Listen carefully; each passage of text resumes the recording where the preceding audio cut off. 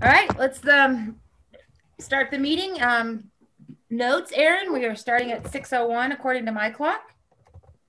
And I will go to our agenda now that I've got 14 screens open. We will be welcoming someone, or a- guest from the city of Longmont tonight, but she'll be here shortly. Um, do we need to do any introductions? Are we all, we all know each other? Oh, yes, except Joanne. We should introduce Joanne. That's right. Joanne, tell us about you. Hi, gang. I'm the executive assistant at the Longmont Museum, and I'm here because our friend Nicole Blair, who used to do this onboarding, uh, found employment closer to her home. And so Angela and I are, are doing, uh, are reciprocating for each other, um, onboarding, onboarding our boards. Um, and I've been with the museum about 27 years. Um, so I've, I've, I've seen AIPP grow up, and um, I love it. I love the program. Thank you. We're really grateful to you stepping up to the plate. Thank you, Joanne. We appreciate you. And I've been, as a longtime Longmont member, I've seen you all over the place. So it's good to see you again. Okay, uh, we've called our meeting to order. We'll do a little quick roll call so um, Aaron can um, read the names and hear the names. We've got Jennifer. How are you tonight, Jennifer? Good.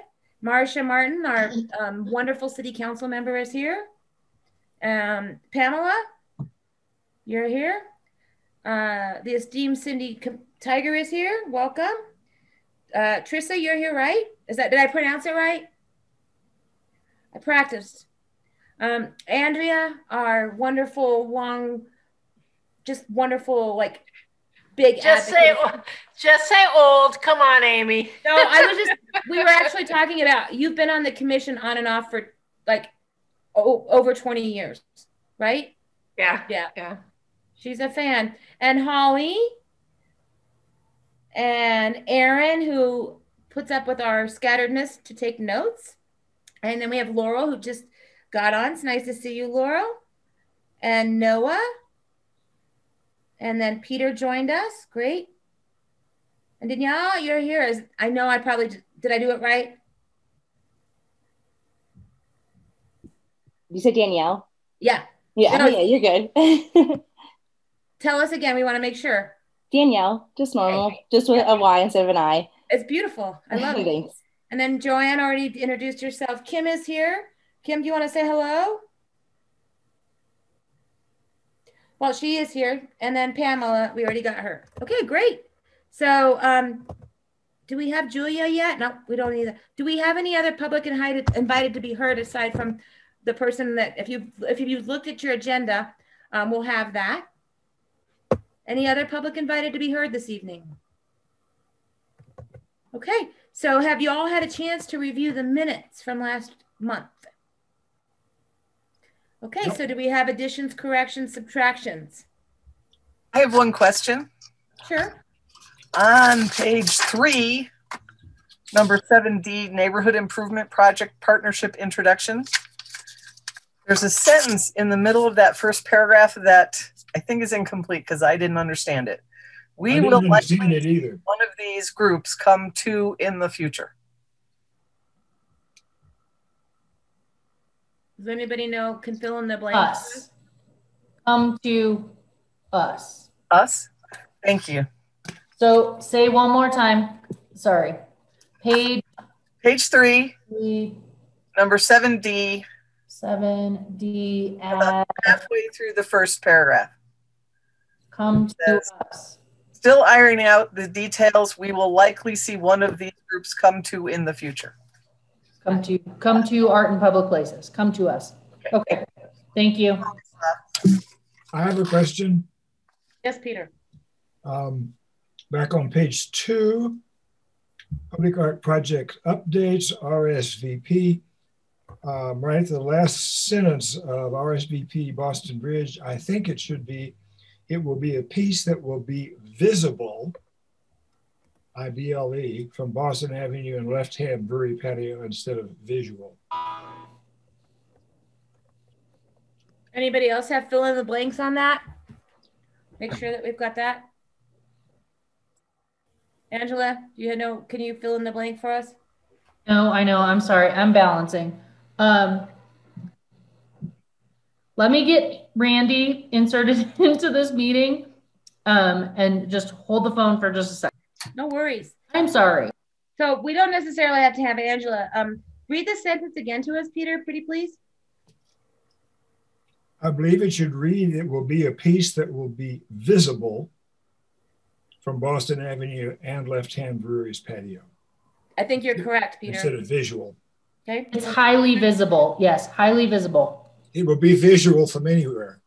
It will always be visual. Yeah, you it don't need the be in there as a word person. Good. Okay, other corrections, additions, subtractions. Excellent. So, Aaron, thank you so much for your great notes. Two words is nothing. We appreciate your hard work, and we would need a motion to approve the minutes. I make a motion to approve the minutes. All right. So, Andrea and Laurel corrected. did. So, one of you, uh, Laura, will you please make a motion, and then Andrea, you second then?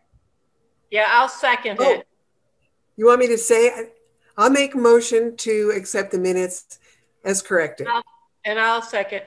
Excellent. Um, all in favor? Anyone opposed? All right, the minutes are passed. Good work. Um, so, um, we're going to talk briefly tonight. We have new orientation feedback that we've all that now that we have participated. Some of us have participated in. Um, mine was six years ago, almost six years ago in July. Um, Angela, you want to give us some feedback on that? So, um, just a quick um, addition to the agenda will be 6.a. And that will be that Julie Stone, who is going to be entering our meeting any second, uh, Julie Stone is the um, coordinator for all staff professional development and also leads our city in so many ways. And she's going to speak to us on behalf of the equity team with the city. So, in new uh, new commissioner orientation, and those of you, there were actually quite a few who attended that. Um, I'd love to hear your feedback. Number one, about how how well, or if there was any feedback um, of something you'd like to see for that orientation. But the addition uh, was the equity initiative, and this is not new. This is a continued initiative with the city, and so Julie's going to join us after we do a little bit of the feedback from the commissioners who attended, and she's going to give us a brief presentation into the continued uh, efforts in equity in all projects throughout the city for our commission. And so then that will mean that all of our commissioners have received this information and going forward as all commissioners come into our um, commission that they will receive the same training so that we will all be on the same page. And of course, this isn't something that's going to end here, but it certainly is a wonderful introduction. So uh, I think if we can start with just maybe going around the table and anyone who would like to give a just a brief feedback about their experience with the new commissioner orientation. And then uh, Julie, who has joined us, will will pop into her presentation. Excellent. Should we go around the room? Um, well, who's who would like to to offer their feedback first? I'll offer mine. I actually found that it I found it to be very valuable and a lot of excellent information that I really didn't know about how the city functions. Um, one thing that I did find especially enlightening and it it made me feel like we're really going down the right track is that the um, it was mentioned that the the city in general is looking for ways to increase the diversity of all of the commissions. So we know that that's something that we've been focusing on, and that's a part of our strategic plan. But it was just good to hear that there are other commissions that are feeling the same way, and that there's efforts being put into making it a more diverse group of people in general. So yeah, I enjoyed it. Thanks. That's great. That's great. Who's next? Noah?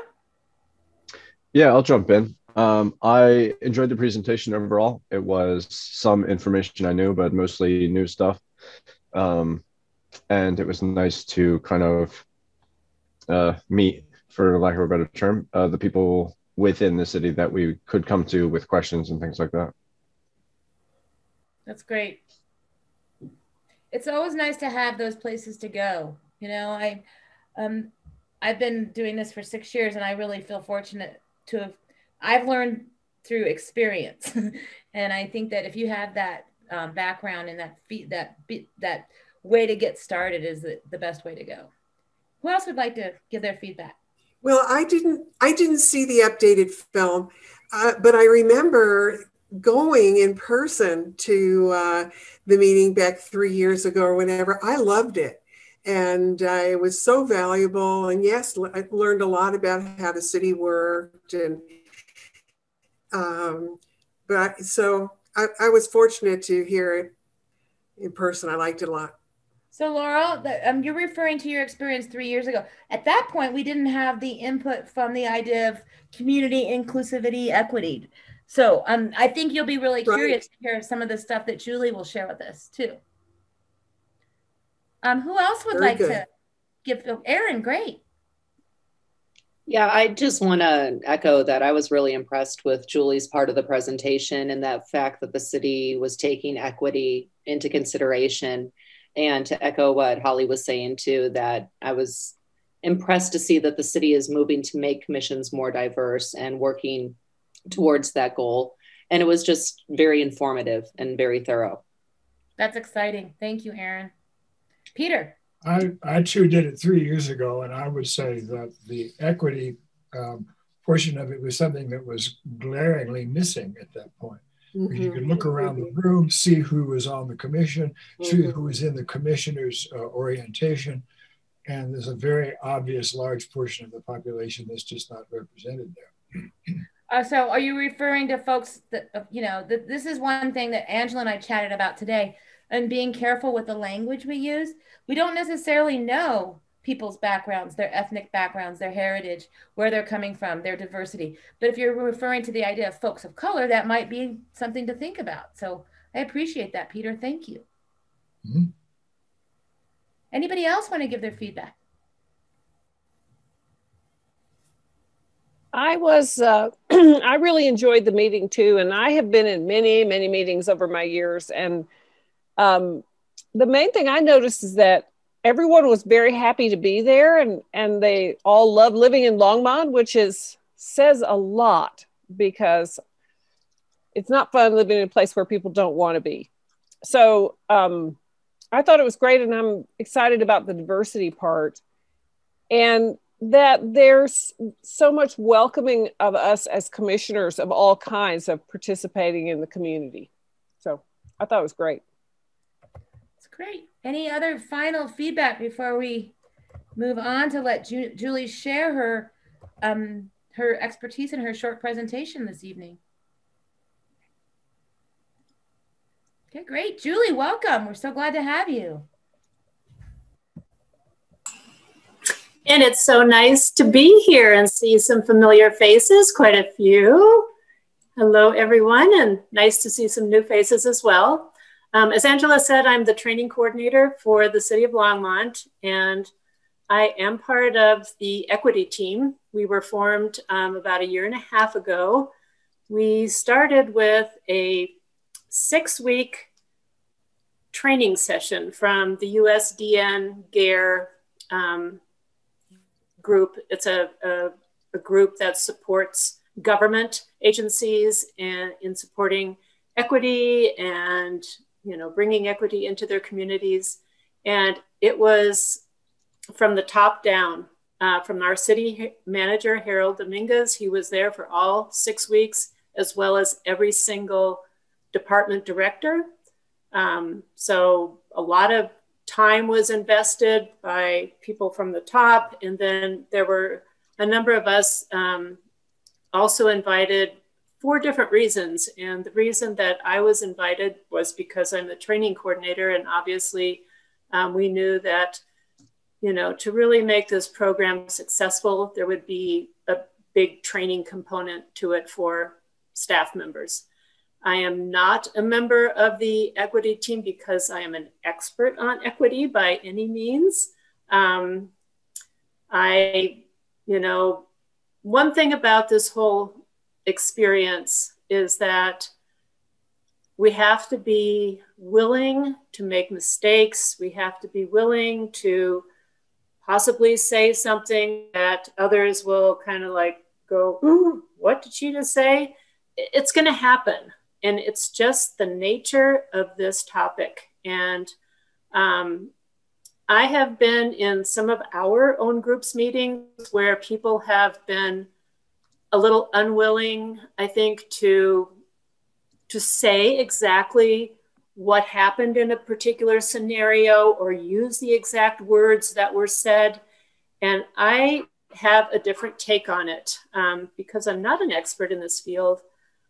I like to learn from others. I like to hear what exactly was said that was offensive. Um, and how did the person reacting to it, you know, what words did they say? I don't like hearing something that's just like, well, you know, try to use some words that will diffuse the situation. I want to hear exactly what those words are so that I can learn.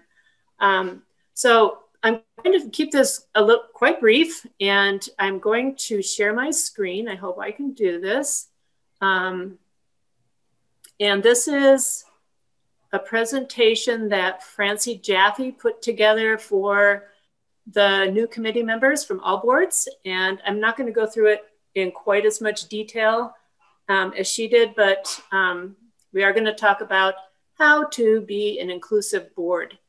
And her first slide here, um, and I know it's small for you on your screen, but I think Angela could probably share this in detail. The message here is that Longmont is a very diverse community. We have different ages, and surprisingly, the 65 to 74 year old age range um, is one of the largest in the city and growing. You know, our older population countrywide is growing. We're diverse in age, we're diverse in race, we're diverse in our economic backgrounds. Um, Longmont is growing at a fast pace. It continues to. It has been for a long time. And I think we can just expect that the the you know the the demographics in the city will continue to become more and more diverse. Right now, um, obviously, it's um, we've got about a 25% Hispanic population in Longmont, and you know I would expect that to grow as well as other communities of color, Asian communities, and Black. Um, and I'm just going to say, with um, with saying the word black, that a year and a half ago when I went through this training, I didn't know that it was okay to say black. I felt like that was kind of like a no-no, and you were supposed to say African American. But um, what I've learned through this is that you know saying black is fine, and if someone that you meet uses African American instead of Black, it's okay. You know, not everyone will have gone through as much education around diversity and equity as as we. Um, so we have to be a little bit um, forgiving of others when they make mistakes and use maybe vocabulary that isn't quite right. I'm going to actually skip to Francie's last slide this is a graphic. Um, maybe I can zoom in a little bit. Uh, this is a graphic that Heidi Reitmeyer um, with the city developed, and it's similar to a lot of others that you've seen. And the purpose of this graphic is to show the difference between equality and equity. And here in this side, we see these three children trying to see over the fence, and they have been given equal props. Everyone has a little box with three slats on it. Everyone is given the same exact thing. but it's not helping everyone. This child over here still can't see over the fence. On this side, we see an equitable solution. We give everyone what they need in order to be able to see over the fence. And these two terms, equality and equity, will be used interchangeably amongst the population, but you can't um, fault someone for using the wrong term. The real important thing here is this side of the slide, the equitable slide. We want to make sure that we are giving access to everyone in a way that will make them um, feel welcome, will give them the opportunity to participate. And one interesting thing about this side of the slide that I want to point out, when we were first um, reviewing this slide, um, you'll notice that um, this girl here, she looks like she's got a Muslim head covering. And then the girl here on the far right, she um, she's black and she's given the most support. And I, I said, you know, is this really the message we want to portray? Is that you know, we've got a black person over here. And our assistant city, city manager, Sandi Seader, said, absolutely, we've got to get this out there and stop trying to hide, you know, what the data is showing us. And, you know, and often, often cases, this is the real scenario is that our, our black population needs a little more help. So um, anyway, I want to then go back to a couple things that Francie talked about. And um, she has an example here of a monolingual Spanish speaker who might want to participate um, in a meeting, maybe a neighborhood meeting. And we need to think ahead of time what we can do to respond if that situation should arise. And one tool that the city has available for that situation is Language Line. It's a phone number that we can call and we can get a translator, even uh, sign language translation for just about any language at all. So um, you might want to, as a board, have something prepared in Spanish that says, you know, welcome we want to make sure that you can participate, and we have this resource available. It's called Language Line. Would you like to use it? Um, so that might be one thing that you can do to part, uh, encourage participation. Um, Francie also mentioned with this is that if you've got a Spanish speaking member on the board on your commission, you should not expect them to be a translator.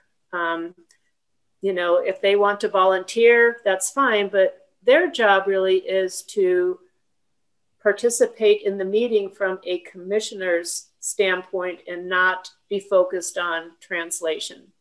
Um, so I think that's really good advice. Have something in mind ahead of time, have a plan, have maybe something printed up. Um, some things that you can do when you've got a monolingual Spanish speaker um, in attendance is that you are you need to acknowledge them. Don't because you don't speak their language, don't avoid them. I mean, whether they speak English or not, they they will appreciate eye contact and, and some welcoming gestures.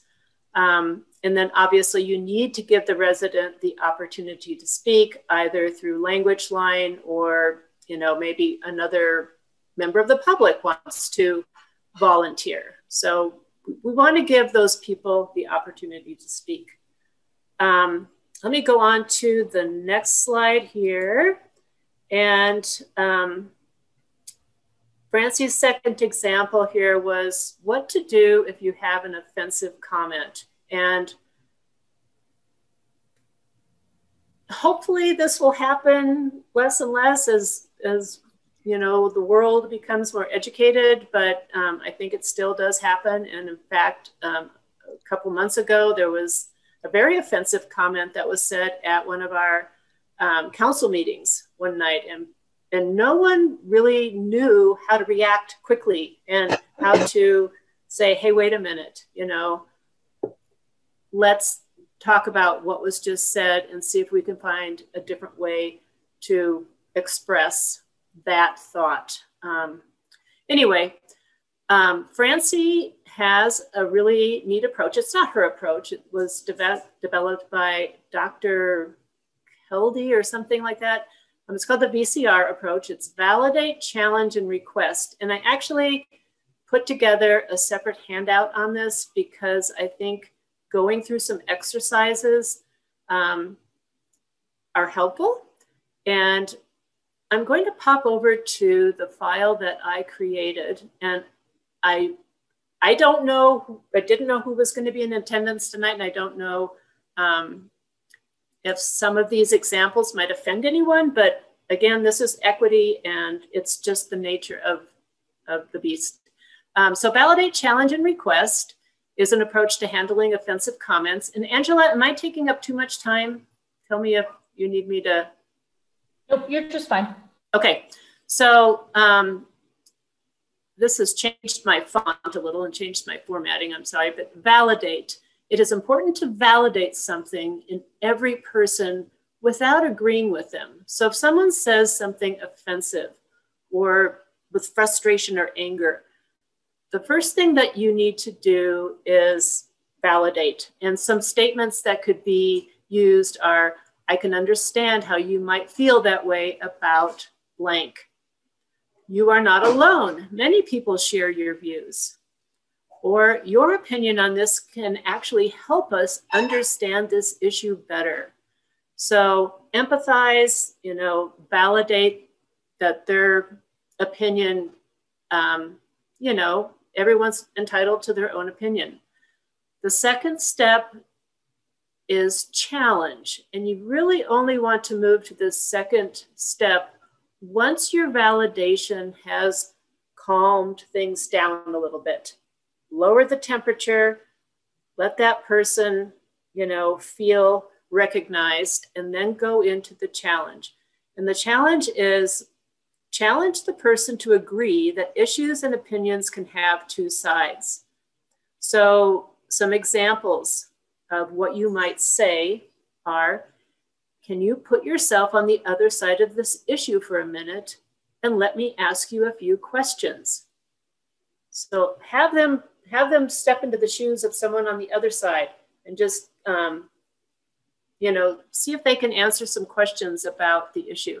And i've got some examples down below that we might try if we have time. Um, or you might say to them play devil's advocate here for a minute. If i were to say to you blank how would you respond? Or how about can you give me one good argument for the other side? You know, you're trying to get people to go to the other side from where they're standing, either put themselves in someone else's shoes or um, react to your opinion. The last thing I have here is if I were to say to you that my opinion on this matter is, you know, something different than yours, how would you react? So they need to realize that there are two sides to many issues. And then the last step is request, and that is request that the other presents a reasonable way of responding to the challenge. For example, could you please restate your opinion without using insulting language? Would it be possible for you to deliver your request again in a few minutes without using words that will insult or hurt anyone? Or could you please apologize to the others here and admit that there is probably a better way to phrase your opinion? It's, it takes guts to do this, um, especially in person.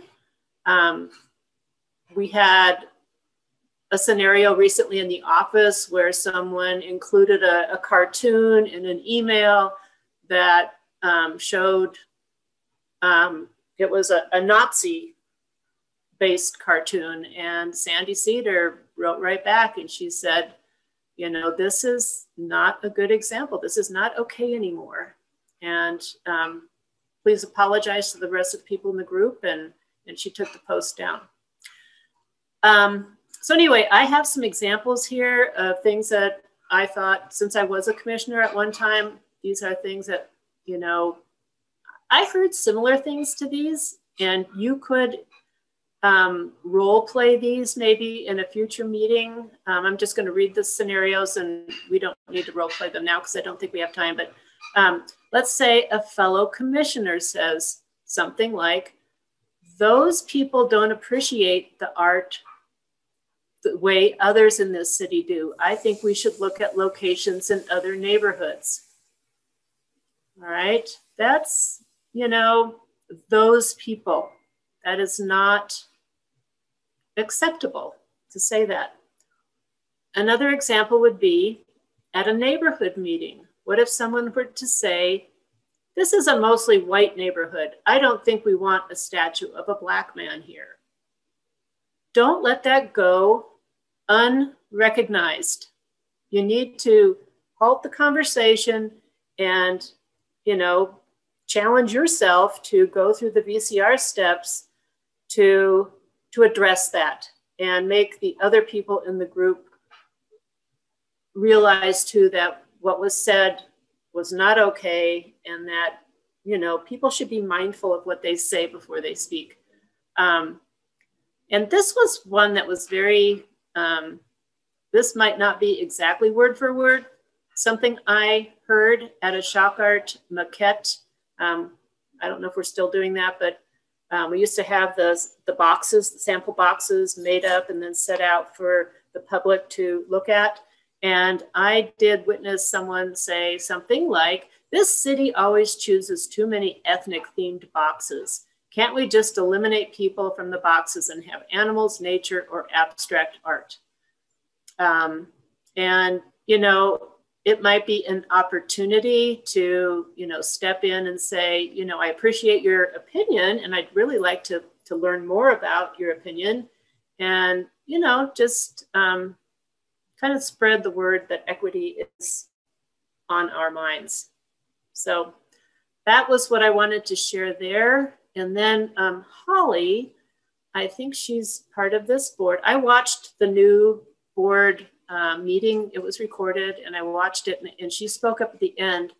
And one of her questions was, you know, how can we encourage more equitable boards? How can we get more diversity on our boards?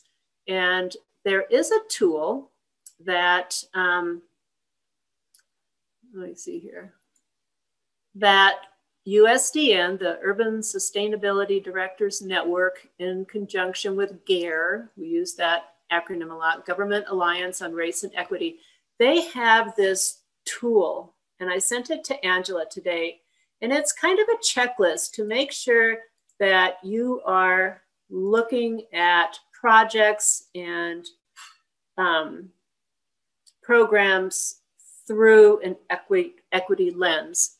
And I don't think this checklist as it is is, you know, would be good for AIPP, but I think you can use it as a starting point to make your own checklist. And one of these that I think is really important is step three.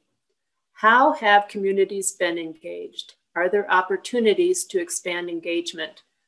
So you might come up with your own questions to ask yourselves have we really been reaching out to all different communities? And it doesn't mean, you know, demographic neighborhoods necessarily. A community can be the community of seniors in our city, the community of Latinx, um, Hispanic people in our community, um, you know, we might say, we might think, you know, okay, um, through our online survey, we are giving everyone in the city, anyone in the city can go online and tell, take the survey and let us know how they feel. And we have a Spanish version, and we might think, oh, okay, everyone has the chance to participate. But not everyone has a computer. Not everyone has internet access. And so you have to think beyond, you know, what's easy and say, how can we really um, encourage others to participate? Sure, this is online, but um, maybe we should go to the youth center and put up a suggestion box or the senior center or where are places where others in the community tend to gather where they might have the opportunity to give their input. Um, so I think, you know, you could probably build a checklist off of this step three. Um, and it sounds like you have already talked about advancing racial equity in your group, which is wonderful.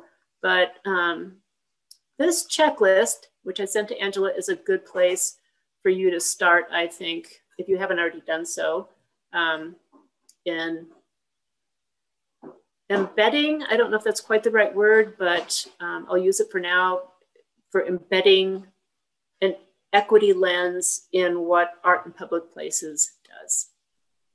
I think that that's actually a really great segue because of the uh, sunset on art in public places uh, strategic plan, which was Vision 2020, and the work that is underway with a citywide, uh, you know, um, creative culture plan in, in tandem with the art in public places strategic plan and, and seeing how art in public places can very much be a leader uh, on behalf of this. So thank you, Julie. And I will be sure to share this information, uh, certainly this document with everyone. And Julie, I would just want to say that, yeah, yeah, any comments? No, I, I, I would love to hear feedback from people. So I love this. Um, most of you know that equity, inclusiveness, and community have been like one of my lifelong missions. It's something that I've been dedicated to from since I was a little kid. And I love that graphic of the equal and equitable. So Julie, I just I, I found it and I will send it to you. Another one is if you what if you just knock that fence down, completely down? Um, and that's one that I've, I've, I've used in, in the seminars that I've worked with, getting rid of all those fences so everyone can be a part. And what you said was so valuable in understanding that not everybody has internet, not everybody has, um, you know, when everything's written in English, people don't understand that. And going to the sources, like going to El Comité, going to um, our sources where we have folks. If you're saying that 25% of our community is Latinx, then we need to have 25% of our commissioners, at, at least shoot for them to be 25% of our group to be Latinx. Yeah, that's something that um, this is great. So I can't even thank you enough for coming. I'm just so grateful. Sure. Anybody else um, have just Julie? I'm sorry, what? I was gonna say, does anybody else have some feedback or questions for Julie?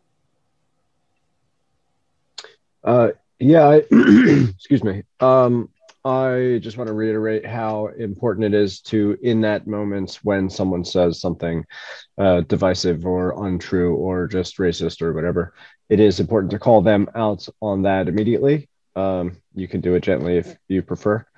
And, um, but slash and if you are interested in um, engaging that person in a more productive conversation and potentially disabusing them of their um, untrue or uh, destructive thought patterns, you can look up street epistemology. It's a way of like um, getting people to understand their own internal logic. And it's the first step in changing someone's mind or someone's opinion in those kind of uh, areas. Can you say that again? Because it's not something I've heard. Street? Uh, street epistemology is, um, if I remember right, huh. the study of belief and how we gre- create and follow our own beliefs. Interesting. Okay, it's street epistemology.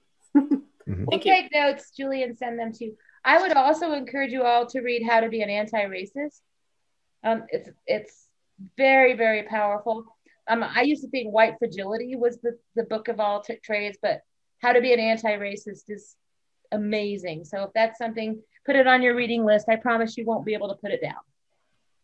I can see a couple of hands up, starting with Marcia Martin and then followed by Jennifer Miller. Julie, would you mind like, yeah, thank you.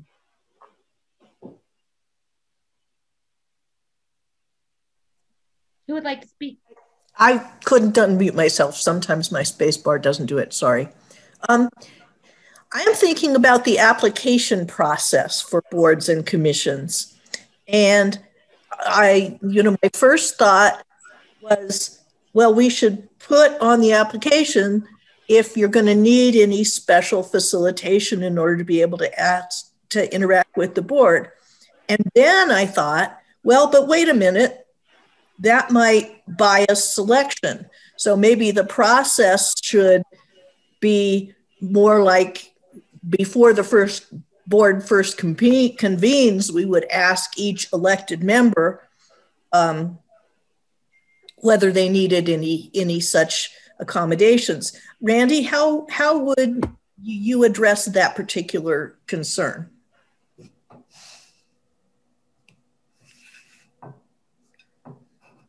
I think that's for Julie. Oh, I'm yeah. sorry. Julie. Oh, no, it's okay. And I was ready to talk.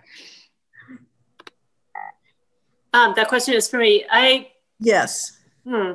Um, I was thinking about this today when I was putting together that checklist um, after what Holly said at the um, the meeting that was recorded that I saw. You know, she wanted to encourage more diversity amongst the boards, and I think a big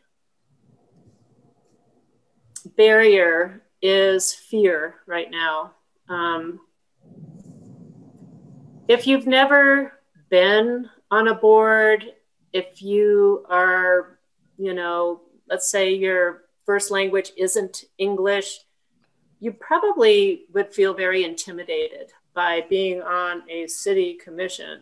Um, and, you know, I don't know how that could be made less intimidating more welcoming. You know, it would be really cool. I was thinking, man, if I had a neighbor or a friend um, who whose first language wasn't English, who was interested in our community and our arts, just to invite them to come as a guest to one of the meetings and just listen and and you know see how see how it all works. Um, I know this board, this commission is a real kind of a casual, really friendly group of people. And um, I did have the opportunity to sit in on another board. And boy, was it stiff and formal. And I was intimidated. Um, you know, it was like you had to um, ask permission to speak and whatnot. But I think we need to um, try and make being a board member less intimidating somehow, and I'm not sure how to do that. And I don't know if maybe someone else has some ideas. But I just think it's intimidating to people, especially if English is not your first language. Well, and I don't want to interrupt, but I do think that this is something that we need to continue continue to chew on. We do have quite a bit of an agenda to move through today, but I think that taking this with you I will certainly forward along a lot of this information and recognize that we have a number of seats that will be opening up for June. So it's March. We have time to talk about it. We, um, as an active part of our board, to continue to bring this conversation to the table and spend a little bit of time with this uh, and and charge on Amy's six year agenda of making this an active part of our conversation and that uh, again we're, we're continuing what the city is already doing. So um, if anybody has any other questions just quickly for julie uh, we need to we'll get moving along with the rest of our agenda. So and of course thank you julie. thank you thank you thank you, thank you. i can send it along.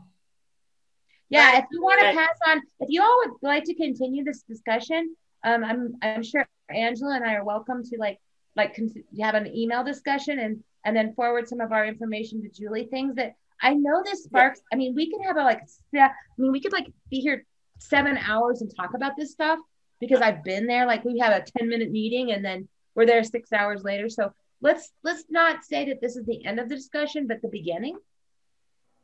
Okay. I think it's really important that we say, you know what, we've got to do this, and this is beautiful, and it, I'm so excited the city is looking at things that way. So, Julie, gosh, thank you so much. You're Thanks, welcome. Julie. Awesome. Bye. Have a good rest of your evening, everyone. You too. Take care. Thanks for being here. Thank you. Great, great, great stuff, everyone. Thank you for participating in that. I know it's can be a challenging um, discussion. So we're ready to move on. Um, we talked about new commissioner feedback. Um, so here's um, if you're on your budget or on your budget, thinking about budget too. If you're on your agenda, the number seven is commission executive committee seats.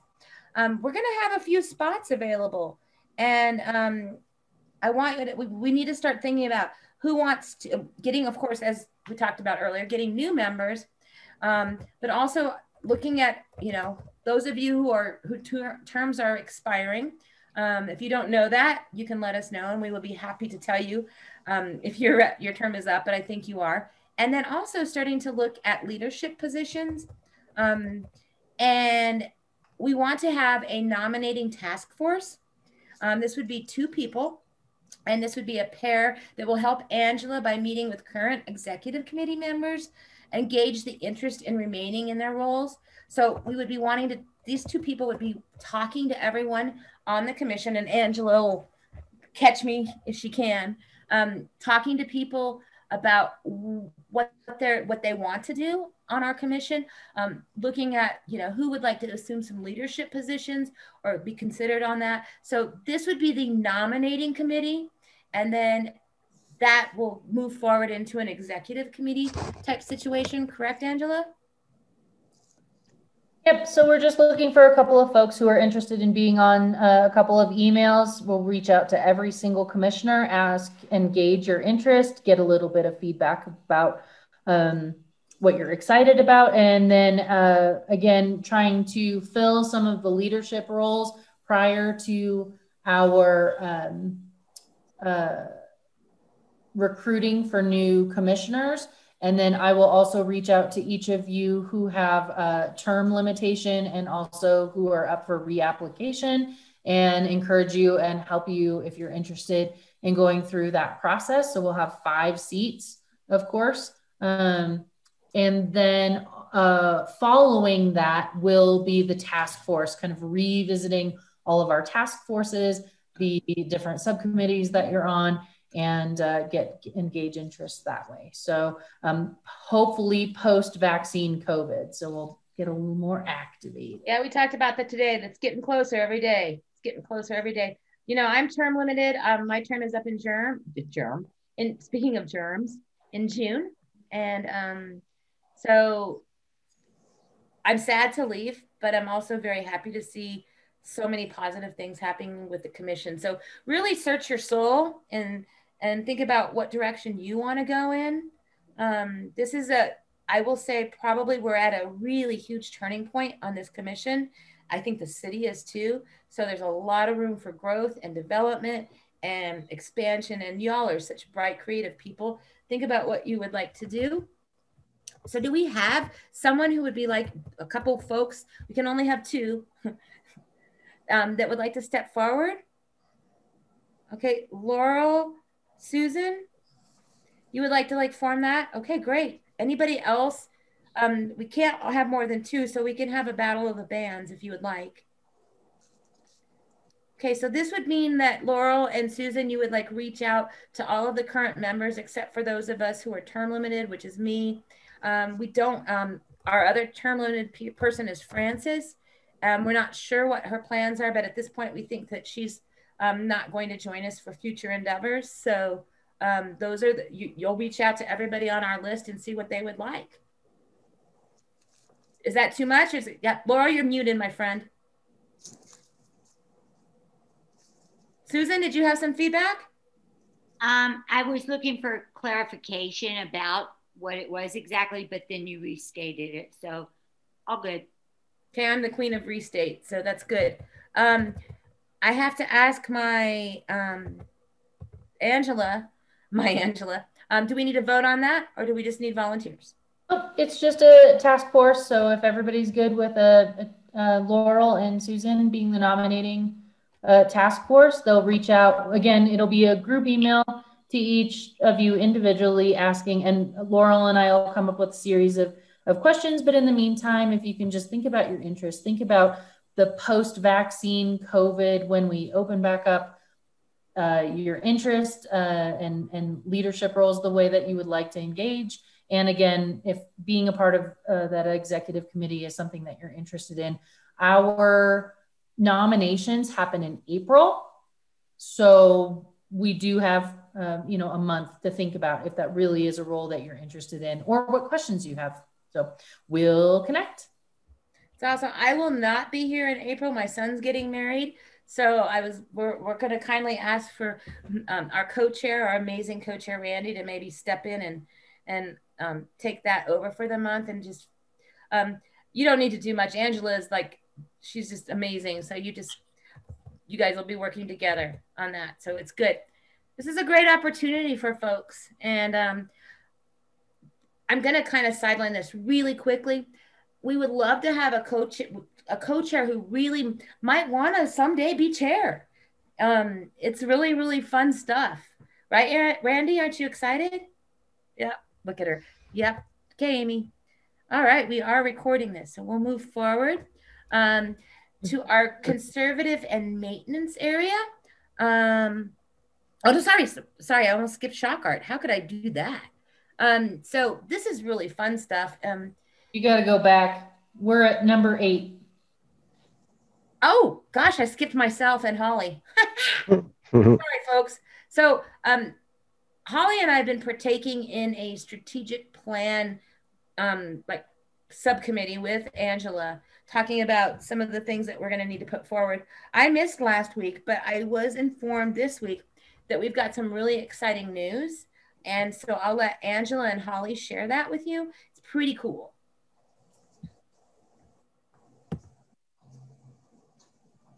Go for it, Angela. Start us off. Oh man, I, am trying to talk less in my life. Um, so Holly, myself, and and Amy have been working diligently on assessment of all of the plans that exist within the city, and primarily the one that holds up city planning under uh, the wonderful guidance of Erin Fosdick. Uh, she's a principal planner for the city is called Envision. And uh, if you'll recall, in in February of of 2020, Erin Fosdick came and met with all of us to introduce, if you hadn't already known about the the pillars of Envision Longmont. And so we've been doing quite a deep dive into uh, arts and culture, creative culture, and how that is uh, how that is prioritized, how that has been addressed, and, and how uh, our community has has demonstrated and articulated what that they what they uh, value for creative culture within the city. So we've been meeting. I've been meeting with a lot of city staff people and just mining the heck out of every bit of feedback that we've received with the goal of course to to enter into not only the new um, strategic planning venture that needs to happen and is due for art in public places, but also while we are doing this work, understanding how we can continue to support and inform Envision Longmont from that creative culture uh, perspective and for a larger cultural plan. So, uh, luckily, just the, and again, I've met with everyone. So I've met with sustainability, I've met with LDDA, and, uh, and we're looking around the table who needs to be at the table when we're talking about this. So um, just this last week, we've received quite a bit of the information from Envision Longmont. I met with Erin Fosdick, and the next step is going to be uh, really an assessment of our group here, and then looking at how, how we continue to branch out. So within the next couple of months, you can absolutely anticipate um, that in interaction and that engagement, that feedback opportunity. It's unfortunate that we're we're still in the era of, of virtual and finding the ways to to engage virtually, but uh, we're getting there. So um, that's the big stuff from my perspective. Holly, do you have anything yeah, I, I would just add that as a commission, it may seem like we've been working on this for a couple of months already. and that we've not made big progress that we've been able to bring forward to this group. But I would just say that behind the scenes, specifically Angela, has been knocking on the doors of the right people that are our stakeholders that we need to pull together really to make some traction with what it is we're doing. Um, and I would also add that even with our visit today from Julie Stone, I think that's a big step towards working through our strategic plan because we recognize that diversity, the inclusion piece is really important for our commission. And so please take that today as an opportunity for us to start the start the language, to start the communication. And Angela and I mentioned this week that maybe what we want to do is at the beginning or the end of a future commissioner meeting, we may just want to take some time just to do some brainstorming about how we as a commission, outside of what the city is even working on, can help to become more inclusive and to look at a more diverse group. So, more to come, and just know that there's a lot Amy and Angela are doing behind the scenes that you guys just aren't seeing right now. I'm really excited to go through that, the material. I'm like, I told Angela that sounds so much fun to me. I'm like, everybody's like, what? But I, I want to know what our community wants and or what the what the expectation is. And I had a really like huge blindside event this week working with um uh, in the same area and one of the folks said i don't like the word inclusion and i was like what i just got done saying that diversity wasn't the word we should be using um, but this person who's an expert in the area said I like to think about with inclusion, you're up here and you're kind of saying, I'm going to include you. But with diver, but with community, we're all one big community. We're, everybody is in this community. We're not trying to pull somebody up into where we're at. Um, we recognize that these folks are already in our community. Their voices just haven't been heard. So that's just a, an interesting insight. Um, as I think Julie pointed out, we're all learning y'all, we have to offer each other grace.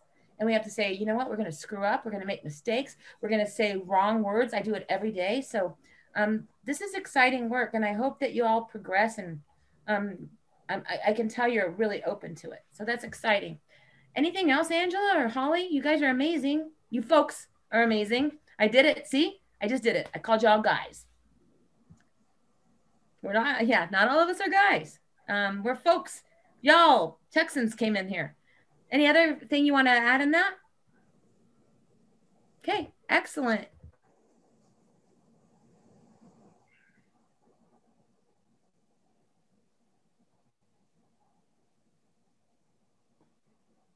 I keep muting myself and then number nine, number nine, number nine. Okay, there we go. Just oh my gosh. But see, then I somehow I got blocked out there. Number nine, public art project updates. Well, then we can just let our friend Angela tell us about our public art updates. So uh, you'll find hopefully within embedded fancily and technologically, that's not a word, um, a link. You'll find a link in the Art on the Move. So we had talked about the training video for the jury and I found it's 30 minutes and it's absolutely worthwhile. And my hope is that for the CaFÉ, which that's callforentry.org, um, that this will be a, a lovely introduction and answer all the questions about how you'll go about doing the jury process for Art on the Move. Uh, take a peek at it. Please spend some time, carve out that time. Um, keep a notebook handy for all of the things that it doesn't answer. And maybe um, I will nudge you halfway, maybe in a couple of weeks, and maybe let's say two weeks and anything that it doesn't answer how confused are you we'll just do that that one-on-one um, question and answer and i can screen share and and show you through. But again i spent quite a bit of time with callforentry.org and i do think that this is a is a pretty good video. So uh, i'll resend the link just in case you're not able to access it through this agenda uh, but i think it's good tool. It's a great tool. So um, that's really the bit about that. And then I guess questions. It's not really much to ask about that. Oh yeah, Randy. It's okay. I'm I'm embarrassed to ask, but when does the call go out for Art on the Move? Oh, any minute now. Um, I ran into a snafu. I actually loaded it as artist based and it was supposed to be artwork based. Uh, so they had to take it down and redo it. Okay. And do you know what platform it's going to go out on? Callforentry.org. It's also called CaFÉ. Okay, yeah. Yep. Okay. And I, we were more familiar with everybody CaFÉ, should see a Facebook post if you follow us on Facebook. Sorry, Amy, go ahead. And if you're not following us on Facebook, your only excuse is that you're not on Facebook. I am following on Facebook. Excellent. And that's okay, Noah. Do we have an Instagram? Do we have Snapchat? Do we have all that too? Um, at the present moment, there is, and I might do a misstep on this, but um, social media in general is is fairly restrictive, and so the city has an Instagram account, um, and uh, like uh, ourselves, the museum, others don't really have we have we're allowed to have facebook accounts and not instagram. We've been we've been through this one before angela. It's okay. And that will come around as we like initially we had a hard time even getting facebook. So this is this is really exciting. The other thing but i'm going to tell you what my students would say like facebook is for old people. And i hate that hmm. term. I mean i'm sorry that that's there there there's another bad word um, but facebook is not um, bringing in the folks that the you know multi-generational group. So just a thought. I i love my facebook and um, that's the way it is. Anything else on that angela?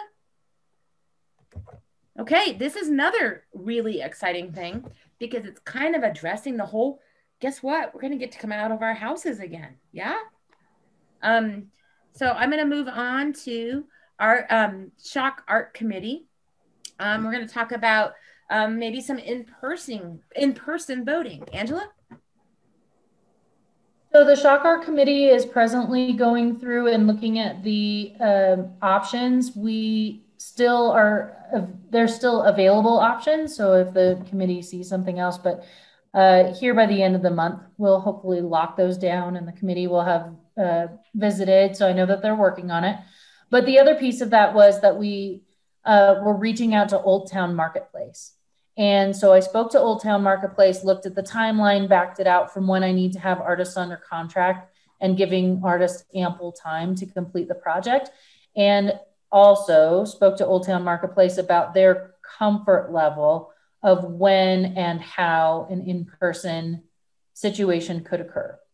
And so we have agreed, and again, this is completely open dialogue, uh, that an open setup for all maquettes being June 19th of in-person voting for three weeks, which would culminate on July 10th. That is the second Saturday, which also from a marketing standpoint, we can dovetail in with what LDDA and the creative district are doing with their existing marketing. So that's wonderful because we will get two different times. Uh, once when it will open and say, come down and visit. You'll see these things on display on the June second Saturday, and then also another op- marketing opportunity for it's your last chance to vote on the second Saturday in July. This being said, we are inviting people to come and exist and uh, be in an in-person event. Certainly, we are the city, and we we will make sure that there are socially distant and um, all protocols in the way of clean pens and pencils and all of that business. But we are leaning very heavily on Old Town Marketplace to be able to, and they say they can, um, monitor this uh, and and see that it is underway, as well as how the ballots are filled out with name, email address, um, address, and we'll use those those email addresses then to filter with our online experience to make sure that there's not ballot stuffing happening. So the question really here for, for the commission is uh, if you feel comfortable having in-person voting, that the situation sounds like something that you're comfortable promoting uh, as, a, as a body of the city. I will need a couple of volunteers if you feel comfortable in some setting up, some breaking down, and some socially distant voting ballot counting. Um, so really discussion for you and decision for you. Is there an option, Angela, for, and I know this is probably way more work, but to do an online, which is kind of a virtual version of the voting like we've done in the past and doing an, a, a live version? Yes, 100%. I think it will be either 100% online, the way that we pivoted and knocked it out last year. I thought it was quite successful uh, because we were able to go through and and eliminate any duplicate votes. And then the only requirement will be that anyone who votes in person will have to write a legible email address, and we will then cross pollinate, sort within the smart sheet, be able to take out any duplicates and then recognize that they're individual votes. Of course, there could be error, but I think that it's a pretty solid situation. So it's pretty much all online voting or online hybrid in person voting. Those are the two options. Do you Any other feedback? Andrea?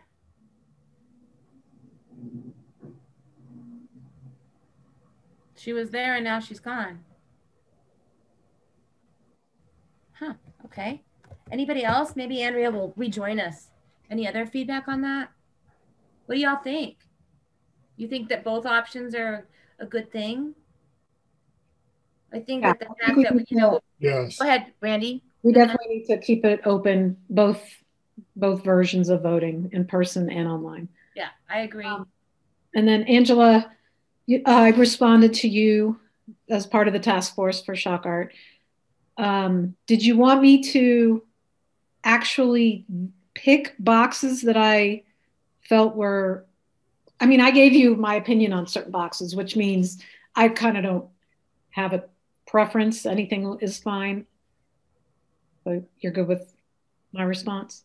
Yeah, so so G, the um, LPC gave us that list, uh, but also said that in the past, really the community uh, going out and finding boxes that they would suggest um, as options was completely possible. That's not to say it will be a, I always get it, I mess it up, pad, pad switch, pad switch box.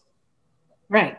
Applicable box. Right. But needless to say, if you see one, it's in disrepair and could be a possibility, just send it to me and I'll send it to Kevin and he'll let me know if it's a thumbs up or a thumbs down in the past, um, I had suggested a box that was right.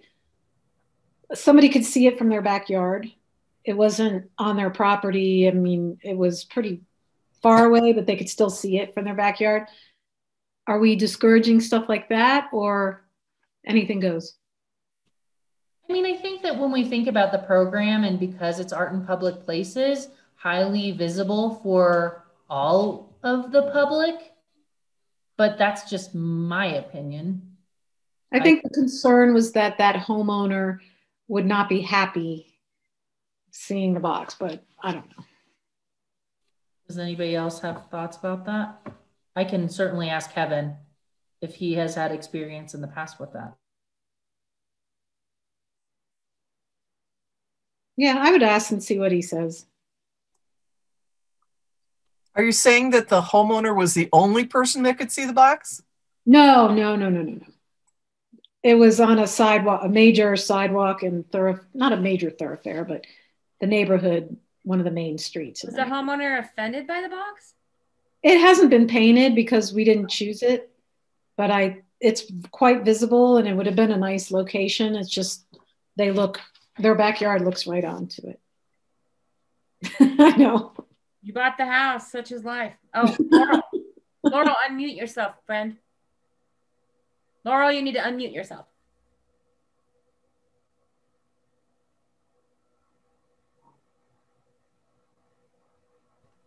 While Laurel unmutes, I'm going to say Andrea's battery died and she said to sign her up for Shock Art. And Joanne, okay. you be able to, oh, there she is. Okay. It seems like it might be a great opportunity uh, to invite this homeowner to be a part of the uh, the committee that chooses the art for the lockbox uh, shock boxes, uh, and, to be you know kind of inclusive in that way, or reaching out into the community. Yeah, I, I actually thought about knocking on their door at one point and just asking their opinion. Yeah. I never did. I haven't. I still can, but I'd like to hear first what Angela gets from Kevin. Kevin is his name. Yeah. Yeah. yeah. Let me ask Kevin first, just because I I'm always wary of um, uh, saying or inviting one citizen to participate yeah. and then not being able to be uh, available for all people. But at the same time, um, anytime that there's a box outside on, on anyone's uh, property near or egress, we invite them to suggest it. So it's, let me see what Kevin says. Um, but I think that's great. Um, well, the, the problem there is, of course, you can invite that person, but it's by public vote. And if the public votes for something that they hate, then, then they're stuck with it. Yeah. Okay. Other feedback? We do think uh, it's probably prudent to take a vote of if we should have in person or not. I mean, it's it's a yeah, little. Yeah, we talked about that. We will, but sometimes what happens when I say let's call it to a vote, then somebody's like, no, no, no, I have one more question. So let's clear the air here, folks. Does anybody have any more discussion? Because this is a pretty big one. Any other discussion? Okay, what so, are we discussing?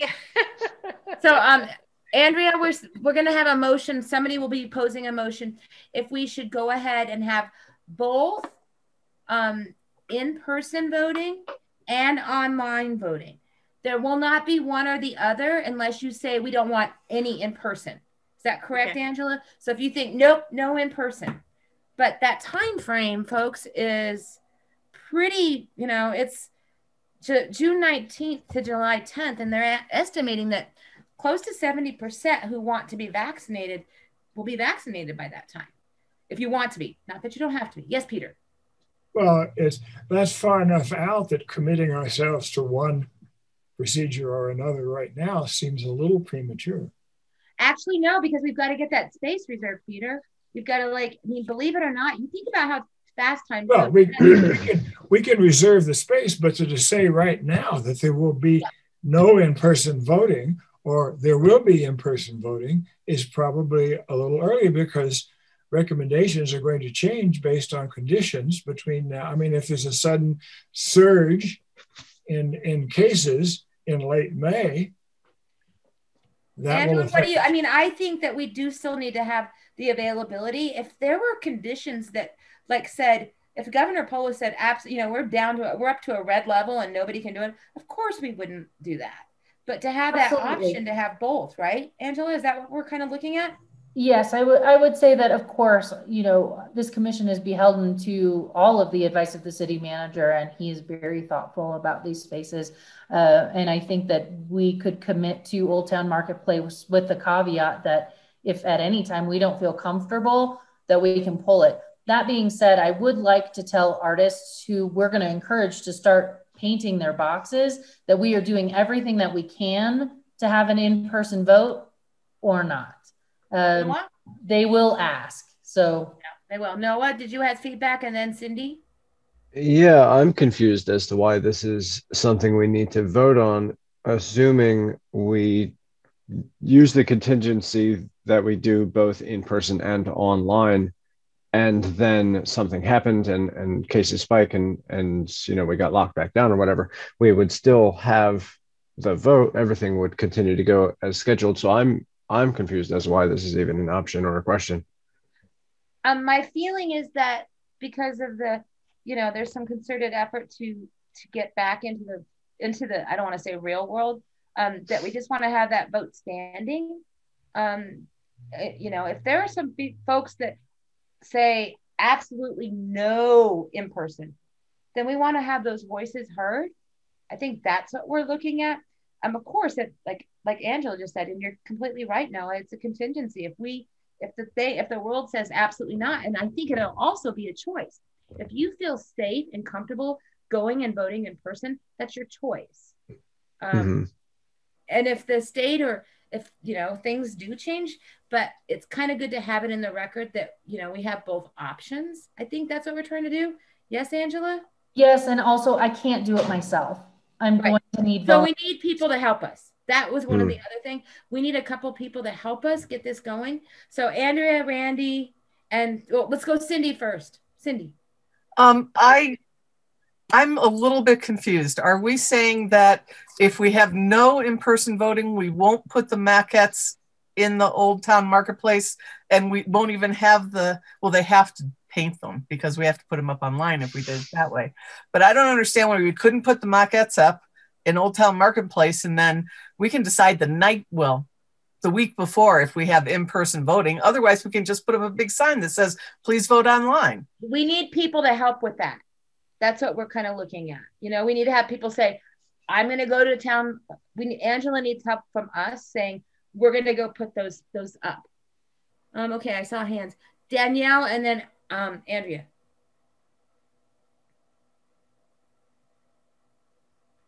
Okay. All right. Andrea? I was just going to say that I'm so excited and I think we should try to do both understanding and everybody will understand that we might not we might have to cancel on the in-person and please sign me up to volunteer to help on one of the nights excellent noah Yeah, same. I would I would like to volunteer as well. And um, if everyone uh, is ready, I'll make the motion that we. Um, We've got a couple more I- discussions. Then, then yeah. Okay. Okay. Then we'll have you make that motion. Great. Thank you, Noah and Andrea. Uh, Danielle? Um, actually, I was just gonna say the same thing. I'm just volunteering. So, um, but I think we definitely, I'm like, we definitely know. Just looking at how the public is already handling this, it's definitely like something that we should really consider. Just on the fact that like anybody in every company around is looking forward to having activities out of the house. So, I know just I am. in the public. Um, Cindy. Are we talking about? Are we talking about having coverage the whole time the marketplace is open every day for three weeks? No, we're looking at folks that would help set it up. Um, and then maybe go in and monitor those boxes, make sure that they're filled up, make sure that we can go in. We, we're going to need to make sure that they're not, as, as you said, uh, ballot stuffed. You know, people aren't like, yeah. So we'll just need someone to, a couple folks to monitor that and go in. Is that correct, Angela? Yeah, it will probably be someone helping me set up, someone meeting the rental company for the tables, uh, someone, you know, and I'll set up volunteer shifts for folks to go over and collect the ballots so the box isn't too full. Uh, a number of people to sit down with me and to go through the ballots. Uh, there'll just be a, a, a an array of volunteer shifts. And again, the bigger thing is just when artists are asking how the voting is going to happen, that I can say confidently that we're going to do everything we can to have an in person event, barring any, you know, uh, authority who says that we can't. Uh, but but that if I have enough folks who are willing to volunteer for a variety of very social distant and safe activities of volunteering, um, that we I'd volunteer too. Okay, so Angela, what I think might be best is if we put together a spreadsheet of sorts so we don't have everybody. I mean, we know we got a lot of people that I just saw a whole bunch of excitement, which excited me. Yeah. Um, so I think if Angela would send out a call for us volunteers to come in, and then maybe she can send some slots that we can sign up for. Um, I'm happy to help you with that, Angela. Andrea? Are we having it during an art walk night or is that a little too crowded? Yep, it'll be the second Saturday. So uh, we'll promote it during the June 2nd Saturday of the three weeks that they'll be on display. And then uh, it's um, second Saturday, which is July 10th. Art Walk in May is not happening um, via the folks, but uh, Art Walk in September is, but that's too late for this program. So, So July 10th would be the de- night that we might actually have, you need volunteers to kind of um, make sure people aren't touching boxes and Yeah, explain how. definitely. We'll And, you know, we probably will have cleaning procedures. You know, I know that we finally started going back to campus for things. So um, I'm sure Angela and I will, we will, I won't be there. Holy cow. I'll be good. Um, but I'll, I'll come and play with y'all, but we, we will have cleaning supplies there and get things cleaned up. Yes, Laurel. You're muted, Laurel. Laurel, we can't hear you. How about that? Are, will we have a coffee bar again in the? I, uh, I don't think there will be any food or drinks. Do you, Angela? I think that's really off right now. okay. Very I. I'm not going to say that for sure, but I know that the state is saying, yeah, you can meet again, but no food or drink unless it's like a restaurant who's adhering to health guidelines. So I don't know. Let's Uh, get, that's a thing, a bridge we can cross when we get closer Uh-huh. to see you know, what our rates are. We're seeing a steady, steady decline, but we also have spring break. And I know my CU students are going to be, they're all traveling. So well, let's just see what happens. okay. We see Noah. This is why I said we needed to have more discussion because everybody has some feedback. Is there any more discussion before uh, we move on to a motion? Okay, calling once, calling twice. All right, we would like to have a motion um, for this event. Who would like to uh, give that motion, please? Noah, go Uh, ahead. Yeah, I motion that um, concerning the 2021 shock art voting procedures that we do both um, online and in person to have the most uh, amount of contingency plans um, regarding the the vote. So when might we include an addendum that um, permitting that you know everything per, that conditions permitting at the beginning of that? Would you mind adding something maybe to that effect? Sure, yeah. Um, so I have to start the whole sentence over. um, what did I even say? Uh, I motion.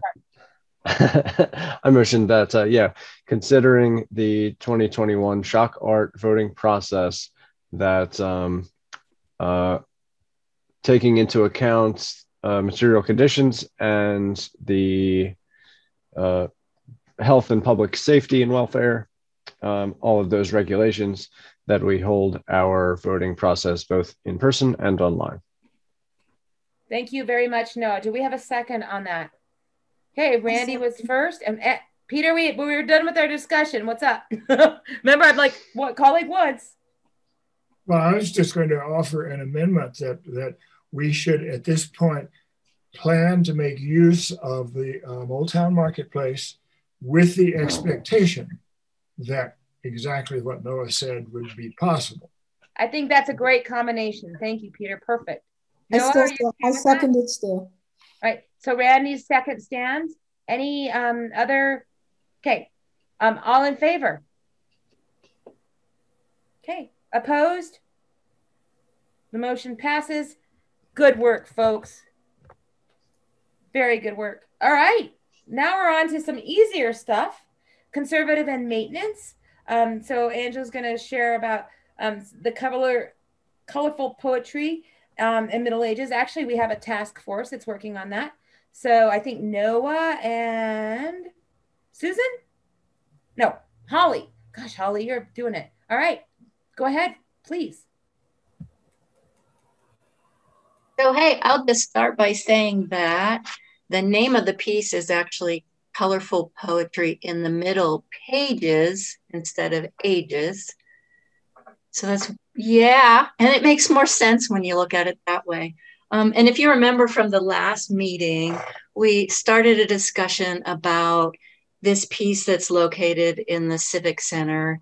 And it's um, banners that are actually a series of 40 banners that are hanging in the Civic Center that have been there for quite a few years. And there's been some question about the um, the color as well as how the material has held up over all of these years. And so we created a task force last month and we did meet this month. And I actually, if we've got a few minutes, I have a PowerPoint that might help to explain a little bit about, more about the piece. Um, Are you you okay with that, Angela? Yeah, we're at 726. So we like to be conscious of time, but I think we're doing great on time. I'd love to see that. I think okay. everybody wants to see that, I bet. Thanks, Holly. It will be quite quick. And But I'm not can Holly share. Yeah, you can share your screen. You're enabled. You see it already? Oh, wait, hang on. Hang on one. I grabbed it. Okay.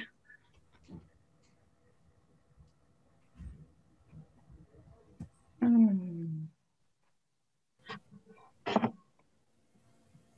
Okay, doesn't look like it's coming. How about now? I'm seeing it. Can you see it now? Okay, let me just Got it. get start from the beginning. Okay. So as I mentioned, the title is Colorful Poetry of the Middle Pages. Um, and a little bit about this piece is it was an initially, initially commissioned in 1992 with a um, banner day when we hung it in 1994.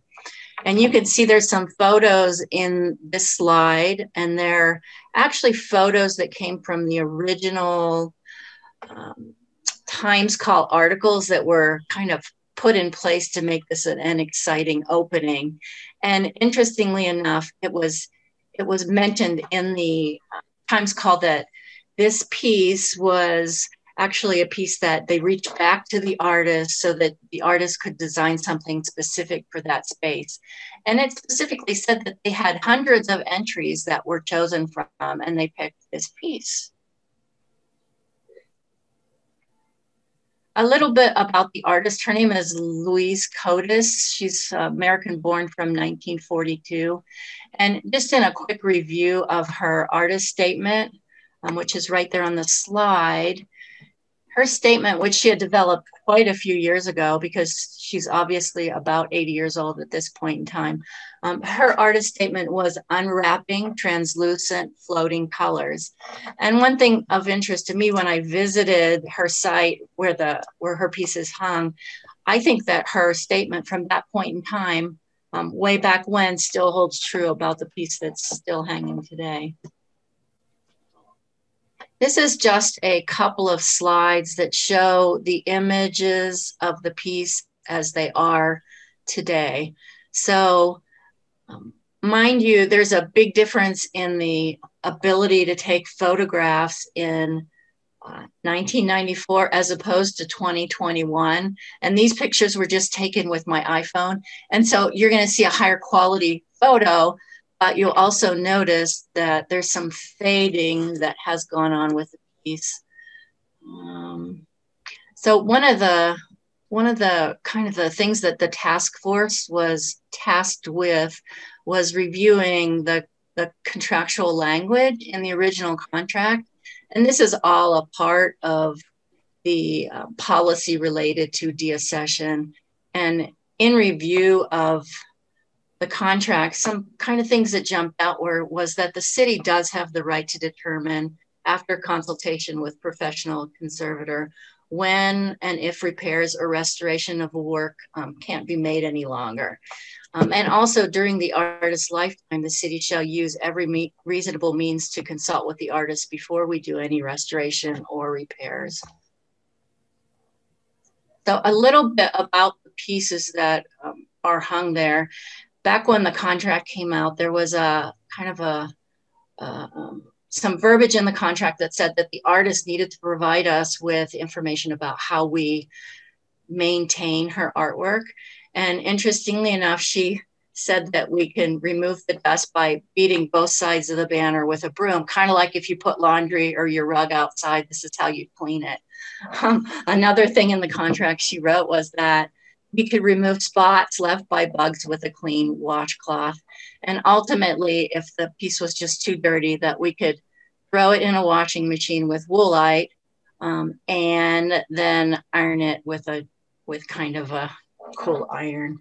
um, a little bit about the maintenance that has already happened on this piece. Back in July of 20, 2009, there was um, a really a refurbish that was completed by a textile conservator at the cost of what we can tell at this point was about $2,400.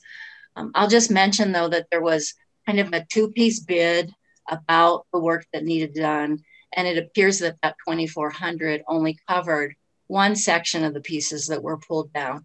So Angela and I are still diligently trying to see if there has been some additional repair besides that conservator repair.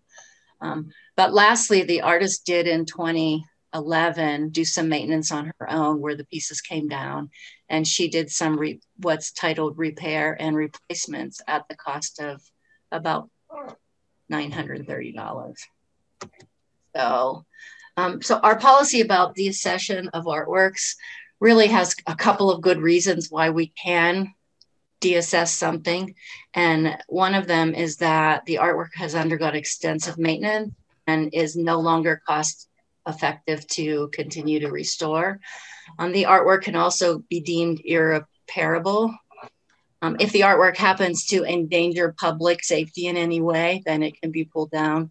Um, if a government improvement necessitates the the accession, which might be an important piece in terms of um, this this kind of a this this consideration. And lastly, if there's an emergency that necessitates it necess, necessitates it to be pulled down, then it can be. So if it had been damaged in the flood where the whole building was damaged, we could have pulled it down then as well. Um, so a little bit more about the policy. We, we have formed a task force, which is what we're doing now. We reviewed the contract. Um, we may seek public and other professional input, which Angela is in the process of potentially reaching out to the textile conservator again. And then if we decide that we do want to come to the point where we want to vote, then the majority of the commission will um, indeed have a, a vote and the majority present will um, stand for that vote. So here's just a comparison of the slide on the left being from 1944. I'm, I'm sorry, 1994 when the piece was originally hung, and then the picture that I took just last week. So, and I think we mentioned last week uh, or last month that the price for that piece um, when it was acquired was $15,000. And at this point, there's been about $2,500 repair that we're certainly aware of. Um, and one of the questions would be what's the current value of the piece so we could determine um, if it's worth doing more repair. So so just lastly, um, one more slide here after this one, but the task force recommendations are that we talk with the textile conservator and evaluate the piece um, for additional insight of what may have additionally happened in 2009. Um, that we potentially consider doing an appraisal, and that would be done by the textile conservator as well, um, depending on what the cost might be for that. And the last consideration that we might want to look at is actually gathering some community opinion or input about whether they think that the work um, needs to be refurbished further and if it will remain in its current position. Um, and one thing that we thought about was, you know, maybe a poster um, that we could have review and voting and potentially could be alongside shock art. Um, and we're open to hearing any other ideas about what other folks on the commission might say. Um, and it looks like Peter's raising his hand. I'm going to leave this slide for last, and Angela's going to give us some insight as to why these three pictures are here. Peter, what, what were you want, wanting to ask? I was just going to say it's a little hard to make a judgment based upon your pictures because your recent photo looks more vivid than the old photo. Exactly. And I think that has like to do with it's faded in reverse. The colors right. yeah, and that's my iPhone 12 technology related to that technology that was available back in the period of time where that first picture was taken. Yeah, it's not a convincing picture. I, I, had I chosen which I thought were was the oldest, I would have thought your photo was was the newer one. Yeah. That you yeah. can see that there's some more vivid colors though in the original from 1994. I think a lot of the reds from back then now have yeah. turned into pink, pinks and purples. So, yeah. Other, other comments? Oh, she's got her bonus slide. Sorry, I didn't mean to interrupt. Okay. Yep, that's for Angela to talk about. I have a question. I never saw the artwork when it was first put in, but I saw it a year ago. And I didn't know the colors had faded. They look they not they're not white. They're not hanging in shreds. I don't know that the aging of a piece must necessarily make it bad. Does that make sense? It I mean, it's still it's still pretty. I'm It- all in favor of things getting better as they get older. Yeah, it's it's still pretty. It still seems to be in one piece from the few pictures I've seen, and from the time what a year ago, a year and a half ago, I was in there. Um, so I'm not hundred percent sure. May, we might want to move it, but I don't know that we necessarily need to deassess it. A good point. Exactly why we're uh, addressing this piece is, uh, and I, I should specify that the conversation of this piece came up because uh, of the folks that go every day, which is mostly st- city staff, right? But the folks who go to pay their bills and, and receive information from the information desk necessarily aren't there every day. And so that's where that community feedback portion could be really valuable. They're not in shreds and they're not torn. Uh, yes, they've faded in time from documentation, but that doesn't necess- that doesn't necessarily, to your point, uh, make some work not um, successful in a space, right? Um, and so the reason that the bonus slide is up is just that uh, there has been, as you know, a quite a large CIP that came through, and quite a large sum has contributed to uh, art in public places.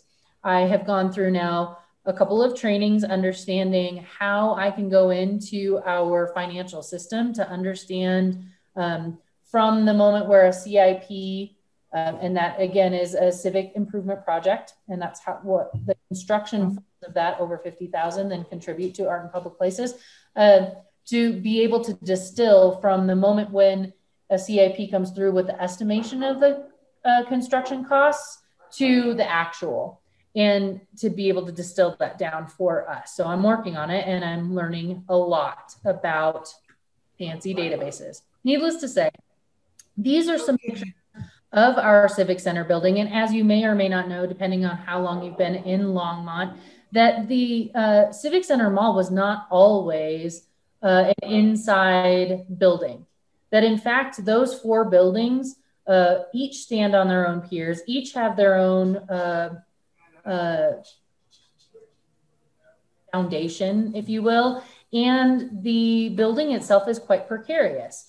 And so I met with the facilities person who is underway of that of that remediation and uh, the options of putting a um, sculpture on the plaza or even adding some mosaic uh, really is not possible because of weight limitations. And to the point where in the what you can and cannot see um, in the upper left there's the portion of the banners that is closest to us and then there's the portion of the banners that is further away. And the portion of the banners that's further away above them are some solar panels that are nearing the end of their life and so facilities is considering updating those panels in some amount of time that is not now. Uh, so talking about even taking these pieces down and putting something back up, the installation uh, would need to be to the pound. They really need to understand the exact weight. So the idea of putting something back up, even something suspended, it's actually a larger conversation. Um, than we can even discuss here right now. So the point that was brought in is the bed that has a very hard time growing plants successfully uh, as you walk up from the garage. And that is also very visible from council chambers, highly visible for public who attends and comes to the space, is actually slab. And so as we consider utilizing funds from the CIP, from the Civic Center project, addressing that space would be very appropriate. In addition, the facilities folks let me know that on the corner of Third and Kimbark. And this is a very bad Google grab. It's the best that I had that's not under snow right now. But needless to say, um, that corner, uh, because it is not on the plaza itself, but is uh, at ground, uh, could also be a, a very prominent place for some, some sort of installation and sculpture.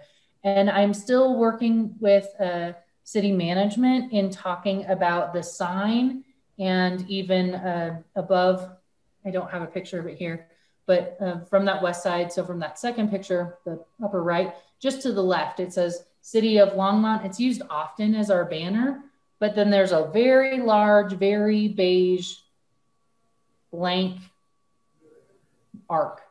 Uh, so that could potentially uh, be placed for something that doesn't have weight attached to it. I'm I'm still waiting on some answers that way. So um, more to come when it comes to understanding the amount of funds that the CIP brought to art in public places. Uh, but I do think that continuing to address the the the banners and how the commission wants to go forward on that um, is necessary.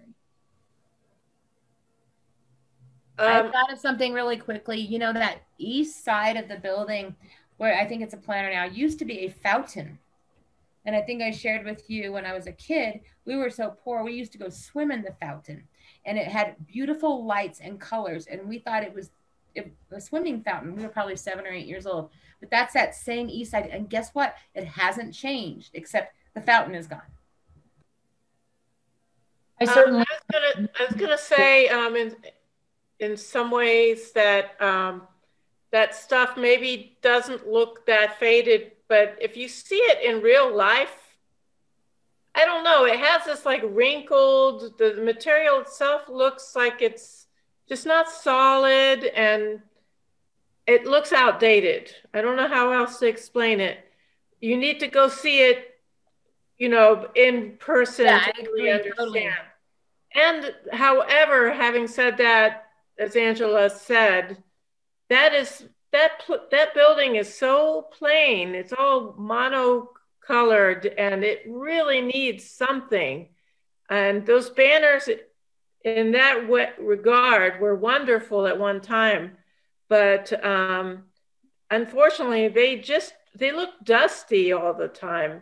I don't know how else to explain Those it. colors have faded. You're totally right. And you have to think, I was just thinking, wow, 98. My son was two years old. He's 26. So I think those are things to think about. It's, this is where a lot of folks who might not ever be exposed to art in public places will get the opportunity. I mean, they pay, I mean, they pay their, bill. some folks don't pay their bills online. They don't have checkbooks. They go in and pay for cash if we could catch their attention, there's another option to grab audiences that we haven't grabbed before.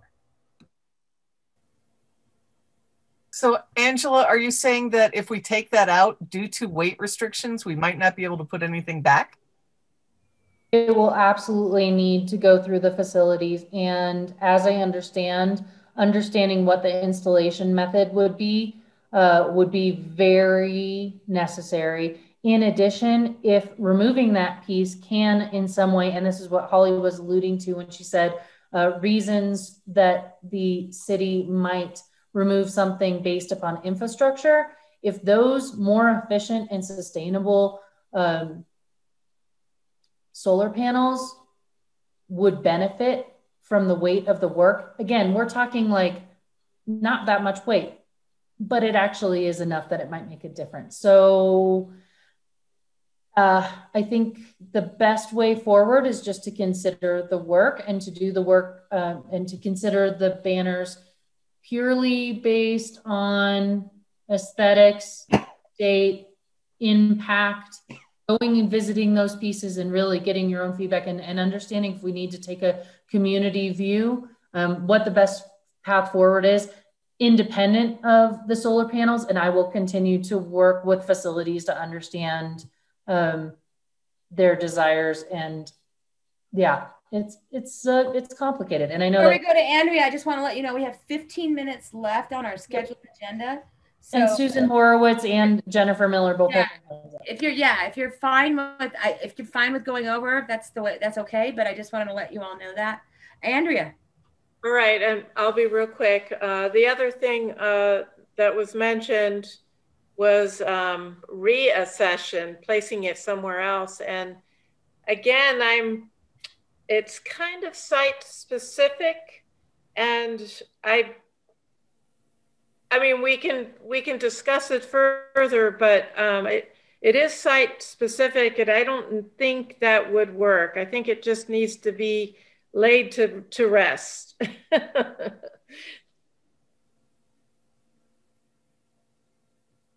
So Susan Horowitz had her hand up for a long time. Um, I said Susan and I was muted. Sorry, Susan.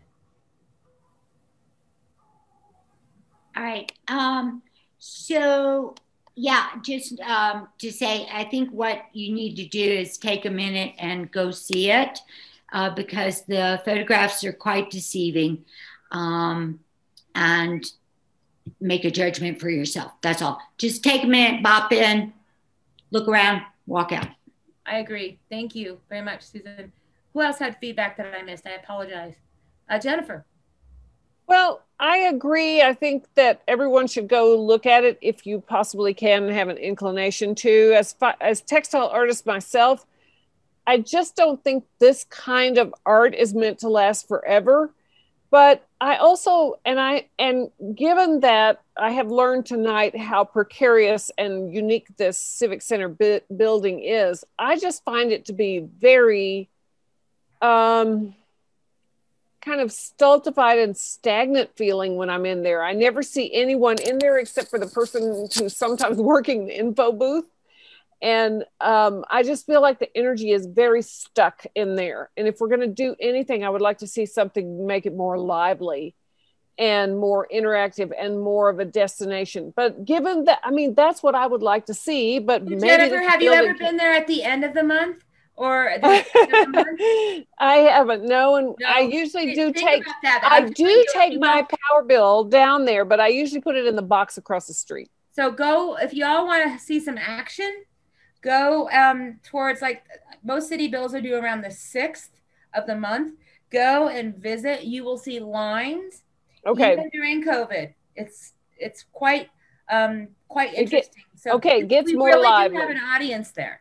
But I would like to see it liven up and modernize and become more contemporary. So just quickly, I do think that there is a real opportunity aside from the banner situation for an asset of art in public places in a different place. Uh, so again, I'm, I'm investigating the CIP. I do think that I'll have a solid number and certainly the budget and the fund can afford it. Um, and so consideration of those spaces, um, I look forward to bringing something back to you uh, next month with that. And if everyone over the course of the month can take the time to go and visit, if you can, and I will hear something back from the conservator who did the work in 2009. I've also asked if she will uh, kindly do an assessment or how much it would cost for her to do an assessment. So I think we'll get quite a bit back next month. Angela, is the weight limit only from hanging from the ceiling or from anywhere within the building? The whole building. There are very, per, very specific places, the elevator shaft, and that one place that is on slab. Um, other than that, it's a weight limit issue. Okay. I, I want to say something. I do want to thank everyone for their comments and uh, participation in this because it was on my list to uh, check out for conservation. So thank you. I don't think people coming into the city building should be should be confronted with a faded and degraded artwork to represent the city necessarily. Couldn't agree more, Cindy. I think again, I've said this, and if we're going to be, if you're going to start looking at things from an equity lens, we have folks from our community that would not see art and maybe they'll something will catch their eye when they come in to pay their utility bill um, you know i've had to go in there and make payments you know, can you, I set up a payment plan. Can you help me? Cause I, I can't pay this bill. And they're really willing to work. But if they saw something that brightened their lives and you all contributed to that, wouldn't that be so exciting? I get like, see, silly things like that make me really excited. Any other feedback on that? You all have done some amazing work. Thank you so much. And we will all pop in there. I wish we could all go pop in there together. But soon, soon. Okay. All right, I'm gonna cook with gas in nine minutes. You ready? Put on put on your flyers. Okay, Yeah, here bronze, bronze is that you're saying bronze, right? Bronze. Here we go. So 2018, our bronze, our last bronze treatment was underway with Pat Kipper. He is uh, internationally known and lives in Loveland, Colorado. He and I have spoken about the current assessment of the work that is $1,900. Uh, I would like for you to consider us approving the $1,900 for the present works on the docket. That said, I know that we have two bronze works that have been added since then. I would really like for him to do an assessment of all of the work that is bronze and come back to us uh, if there are added pieces that are losing their patina or need a wax treatment. I'm bringing this to you via Eileen, who is our registrar and was unable to make it tonight, but in the quick and dirty way, um, that's pretty much it. So really what's on the table is that we approve the $1,910 that Pat Kipper has done in the past to assess the list that he has. And then at B, ask him to assess the rest of the bronze and come back to us with any additional funds for that maintenance. So Um, moved. We need to have a motion, please, from what? How many So moved. pieces are we talking about? Yeah, I'm sorry. You do have to restate it. Thank you, Peter. Thank you, Cindy. How many Hold pieces on. are we talking about? It's more than a handful. Um, if you would like to push this to next month, which is no problem, I can send ex- the exact list. I mean, if it's if it's five pieces, nineteen hundred dollars seems a little high. If it's twenty-five pieces, nineteen hundred dollars seems incredibly cheap. Sure. So I can say that Pat Kipper went through an RFQ and was our preferred vendor for bronze services um, up until the moment when his contract expired. And that was the same. Sorry, I'm Googling at the same time I'm talking, which I can never do. So whatever his standard list was, here we go. One, two, three, four, five, six, seven, eight, nine, ten, ten. And it seems that between hot wax and cold wax, they average between a hundred a piece. Manilda obviously was expensive with four hundred dollars because she's multiple components and she's a hot wax treatment. Um, yeah, so it's really up to you. Uh, I think nineteen hundred dollars is cheap either way. I think it's really I think reasonable. it's I think it's completely reasonable. I um can I move that we agree to pay his name is Bill? That Pat we agree to have the the uh, assessment and treatment of our bronze pieces looked at by this gentleman for nineteen hundred dollars plus whatever he needs for the next two for the for the other two. Do we have a, you- a rough estimate, Angela? Like, would it be another night? I mean, we have. It's it, an it's an average between 100 and 400 dollars per piece 400 being manilda and she's our expensive one obviously the statue of liberty because of its age is a little more expensive Really but i like to just approve the 1900 for the um the pieces that he has on his list and then he'll bring us back an estimate for the rest So, Cindy, is that your motion? Thank you so much. That was good. Yes, that that would be my motion. Second. We have a second. Oh, thank you, Peter. Second. Um, all in favor? All opposed? The motion passes. Thank you very much. Boy, that was good, Angela. I tried. And then new business, really nothing of that we haven't talked about. Um, administrators report. I did have um, Newport News, Virginia, come to me and was very excited about our shock art program and picked my brain for an hour today. Um, so y'all should be super proud of how uh, the rest of the you know nation is looking at that program as a model. So congratulations to you. And I I used to live in Newport News, and they need Did you really? an arts program. so No thank you for doing that. Oh no, I, we know where to let them know. Hmm. Yeah, I spoke with their uh, city manager and their basically their director of operations. They're looking at graffiti abatement, and I gave them every resource under the sun, and they were extremely appreciative. But again, they were highly complimentary of Longmont. So Excellent. so awesome. And then commissioners' comments, and that's it. I don't have any. Does who has comments? Susan, you have Susan, Andrea, a minute apiece. Let's go. And then Randy, another minute. Um, there's a thing on Facebook. I'll send the link to Angela and she can send it out to everybody. But it's a guy who walked all the streets of Longmont. saw- It's in the paper today. Um, uh, and he talks about one of his memorable moments is AIPP work all over the city. Stop, um, all of it. And he did it at night mostly, but so he wants to go back and see so much more of it in the daylight. If you get the paper, um, you could probably on Facebook it, but I get the digital version. It's on the front page of today's newspaper. It was great. Yeah. Awesome. Randy, and then Andrea. I just wanted to ask Erin if that sticker giant thing contest is over. It's not over? I posted it. I didn't see She's it. unmuting. She's going. Sorry, I lost everybody. No, I don't think it's over. I think this is the last week. In fact, tomorrow might be the last day to apply. Check us out on social media. Go to stickergiant.com and search for sticker contest. But I know um, our social media crew posted something this week on Instagram. I'm not on Facebook, but check out our Instagram if you're on there. Okay, I'm not Um, on there, but my son is, so cool.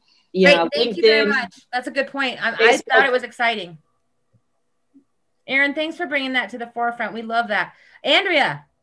Um, I just wanted to comment about um, inclusiveness um, and diversity. One way we can help with that is with our application forms. Um, that's a that's like the first line of how we get people in is our application. So maybe we need to come up with a strategy of where we're um, getting applications. Usually we get it on the city streets and festivals, for example. And then the other um, aspect is it is our city board, Marcia Martin. Um, it- you, you guys are choosing them. Ultimately, you're choosing us.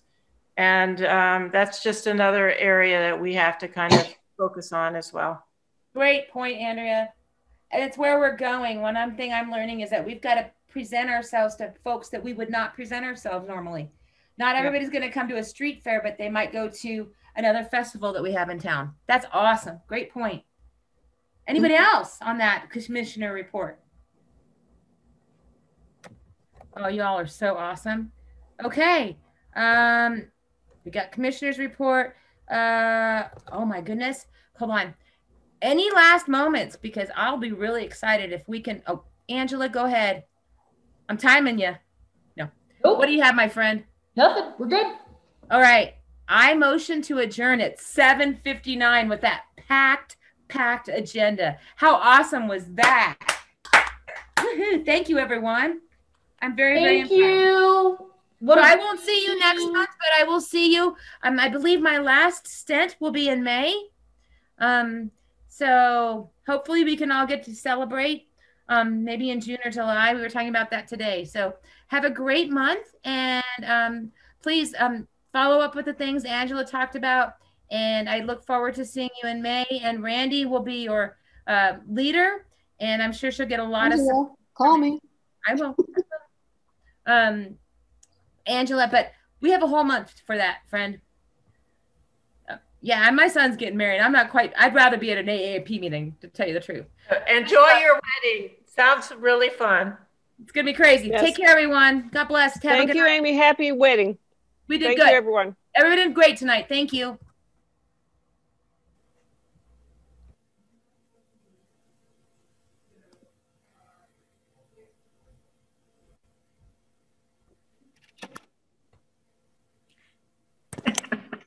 Okay, girl, should I stop this recording?